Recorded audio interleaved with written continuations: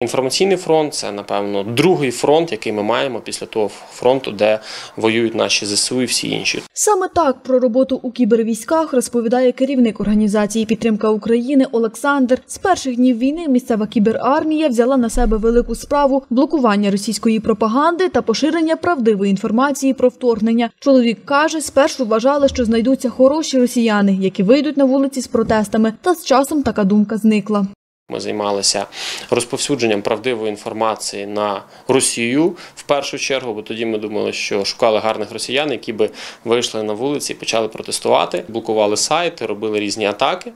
Потім через місяць ми перевели це все в формат вже офлайн, в першу чергу для більшої безпеки, бо це була відповідальність все-таки за 200 людей, І ось майже шість місяців кіберармія тримає оборону на інформаційному фронті. Інтернет-війська продовжують блокувати окупантські сайти та виконувати прямі завдання від кіберполісменів. Ми збирали хмельничан, яких є 15-20 хвилин е, вільного часу в день або якась годинка. І вони виконували і в подальшому зараз також виконують прості завдання е, по блокуванню телеграм-груп, каналів.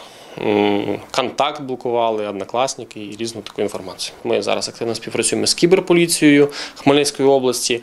Ми з ними зробили загальну групу, і вони ставлять безпосередньо завдання. Це вже більш крокові завдання, які більш важ- важкі, і вони робляться великою кількістю спеціалістів з різних областей України, і я думаю, що з різних служб для того, щоб ми досягли одної мети. Не обходиться у інформаційній війні без тролінгу жертв путінського режиму. Писали там відгуки Доброго дня, вам там автомобіль, ну автомобіль потреба в мене є там.